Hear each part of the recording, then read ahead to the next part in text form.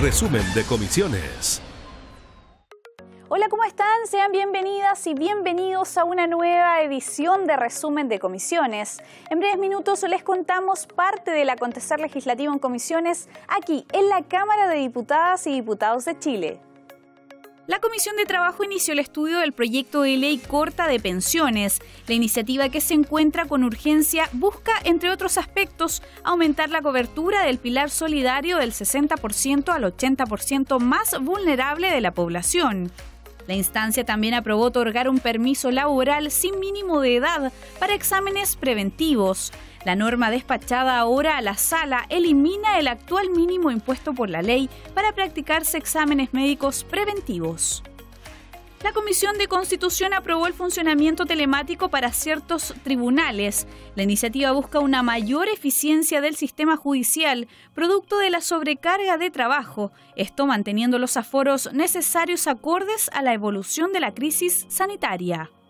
Durante la misma semana, la instancia comenzó la votación en particular del proyecto de ley que permite el cuarto retiro del 10% de los fondos de pensiones. En la sesión se aprobó una indicación que permite el retiro del 100% de los fondos a personas con enfermedades catastróficas o con tratamientos de alto costo.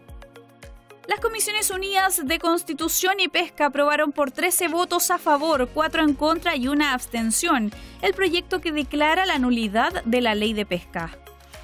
La Comisión de Personas Mayores aprobó en general las ideas matrices de las iniciativas legales iniciadas en moción que establece, promueve y garantiza la atención médica, social y educativa, así como la protección e inclusión de las personas con la condición del espectro autista u otra condición que afecte el neurodesarrollo.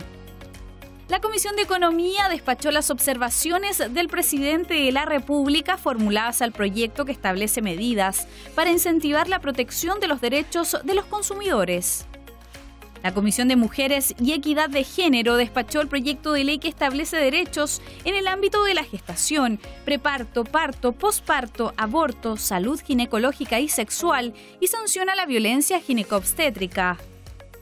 Y con esta información hemos llegado al final de resumen de comisiones. Para conocer más de todo el trabajo legislativo, visite www.ctv.cl, donde podrá revisar y descargar todo nuestro registro audiovisual. Sigue en compañía de Cámara de Diputadas y Diputados Televisión.